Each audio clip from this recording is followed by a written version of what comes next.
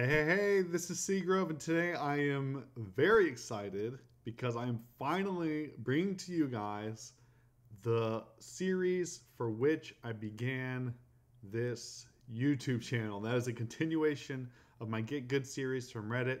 This is number 27, 28, 29, 30, and we may end up having a 31st, but hopefully I can get it in just 30. But it's uh, what I'm calling practicum, so this will be practicum A and it's a match between myself and Michael Pramawat, where I have Michael Pramawat and Joey Ruettiger helping me um, make the right moves. So I'm going to be showing you a hand, a situation in the game, and you need to be thinking, what am I supposed to do here? And then you'll see if you're correct or incorrect and why. And then um, hopefully this will really help you all grow as players. I know it's helping me. So this first matchup is I'm playing Malamar versus Pram's Buzzwole. And this is, in case you're watching this later, this is the breakthrough through Forbidden Light meta. So I'm using the Malamar list from Limitless TCG. Um, I'm going. I was going to show you all, but I decided to link it instead so that you can have it pulled up. Um, this is the list that Fernando Castaneda Perez used to get top four in Mexico City at the regional, and that'll be linked below.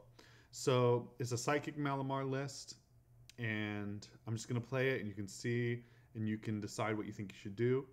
And then Pram is using his um, BuzzRoc list. I, I want to say it's the one from that he used at Mexico City as well. So this is it. We'll hop right in.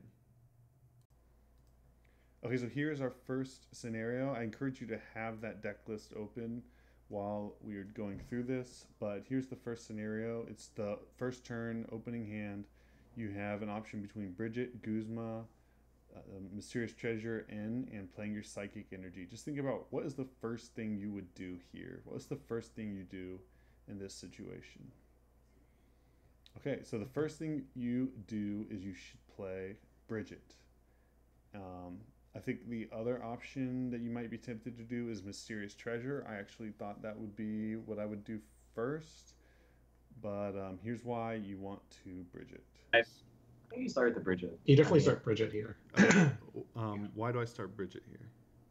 Uh, Instead it's highly Treasure. unlikely you're gonna prize multiple inks. Uh-huh. So you want to like, you want to get like two ink, at least two inks down, and like a hoopa or or whatever. Okay, so I might save Mysterious Treasure for next turn, is what you're saying. Yeah, because you might get a Malamar Okay. with it. I agree. And, and even though you're gonna play N, you still want the option to get draw into that mysterious treasure. Okay, so the next question here is what Pokemon am I grabbing with this Bridget? So you can see I have a Clefairy, I have four Inkays, I have two Hoopas, two Lele's, two Dawnwings, Necrozmas. So you can choose any three, up to three Pokemon. You don't have to choose all of them. So just think about what three Pokemon you're going to want, and I'm just letting you all see as I scroll through the deck so you can, if you want to get an idea of what's prized, as that could definitely affect your decision. Okay, so I'm going to grab two Inkay and a Hoopa because Hoopa is a really good one prize attacker in this matchup. And Inkays, I want two Inkays down so I can start setting up Malamars. So yeah, I could get a Dawnwings, but Dawnwings is actually not good in this matchup because they can one shot it with Lycanroc or Buzzwole GX. I want as few two prizes as possible. So I'm getting two Inkays for setup and only one attacker, and I'll just keep getting attackers down one at a time throughout the game. So the next question is what do we do now? We have the option of attaching a psychic, playing an elixir, or playing the mysterious treasure. So think about what you should do next. So we decide actually not to play the mysterious treasure this turn at all, so that next turn we can grab a Malamar with it. So it comes down to then, do I play Max Elixir first, or do I play the Psychic Energy first? And the answer is you play the Max Elixir first, even though there's not a world I don't think where you do anything else with it besides attach it to the Hoopa. You always want to do anything that has an unknown result first. In this case, playing the Max Elixir would be the unknown result because you don't know if you're going to hit an energy or not. And then once that happens, then it informs your decision of where you place the psychic. In this case, it probably doesn't matter, but these are good habits that you want to build into your game.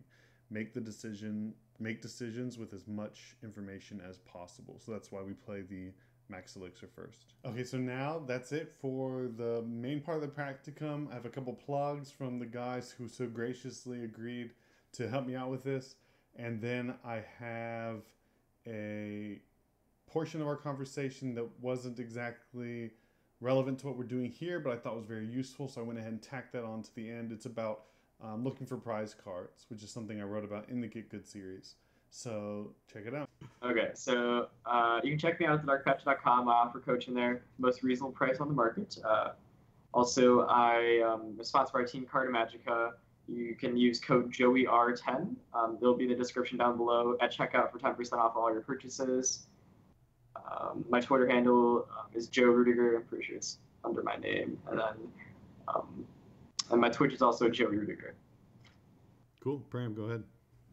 Uh, yeah, uh, check out my sponsor ARG. They're pretty cool. Uh, follow me on Twitter at Michael Pramawat. I tweet about like tournaments and some random stuff sometimes.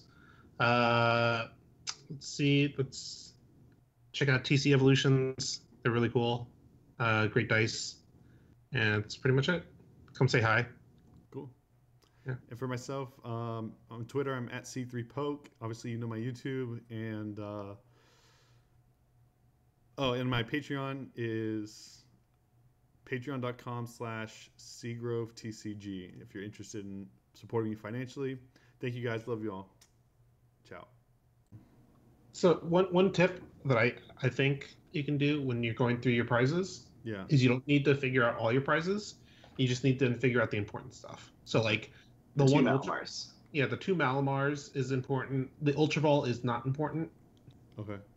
Uh, and things like that. Okay. Let me see if there's any one of other attackers that I'm missing here.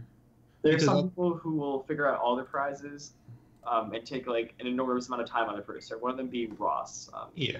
So like you'll just end up getting ties all over the place Okay. Yeah. I if you try to do it like that. I tend to. I used to like just check my important stuff, and now I don't check it all. I. It's you should probably check your important stuff. Yeah. So yeah, I mean, so like I understand the want to scale back, but you should be scaling back from knowing all of them to like the important stuff instead of important Yeah. stuff to none of it. Okay. The only time I don't check prizes is when I have like like under 10 minutes left Yeah. and I'm just trying to like win really really quickly. I had ment- I found myself having a lot of mental fatigue. That's why I decided not to do it anymore.